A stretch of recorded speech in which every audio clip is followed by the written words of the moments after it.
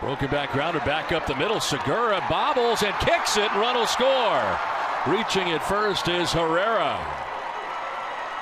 Well, Segura ended up actually physically kicking that ball, as it turns out, and it's now three to two. Now the way the ball.